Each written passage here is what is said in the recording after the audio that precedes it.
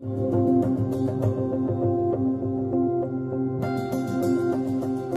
name is Dr. Anthony Levatino. I'm a practicing obstetrician gynecologist and I've performed over 1,200 abortions. Today I'm going to describe a first trimester surgical abortion called suction D&C, dilatation and curettage. This is the most frequently performed abortion and is used typically from 5 to 13 weeks of pregnancy. After administering anesthesia, the abortionist uses a speculum like this. This is placed inside the vagina and opened using this screw on the side, allowing the abortionist to see the cervix, the entrance to the uterus.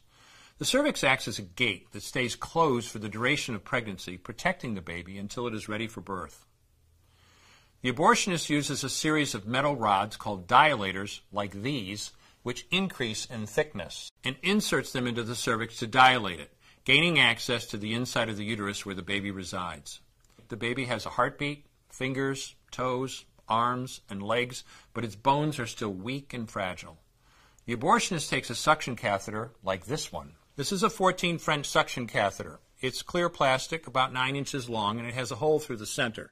It is inserted through the cervix into the uterus.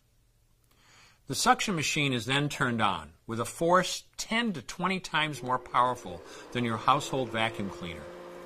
The baby is rapidly torn apart by the force of the suction and squeezed through this tubing down into the suction machine, followed by the placenta. Though the uterus is mostly emptied at this point, one of the risks of a suction D&C is incomplete abortion. Essentially, pieces of the baby or placenta left behind. This can lead to infection or bleeding. In an attempt to prevent this, the abortionist uses a curette to scrape a lining of the uterus. A curette is basically a long handled curved blade. Once the uterus is empty, the speculum is removed and the abortion is complete.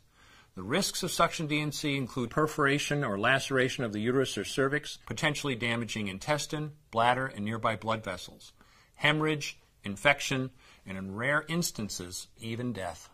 Future pregnancies are also at a greater risk for loss or premature delivery due to abortion related trauma and injury to the cervix.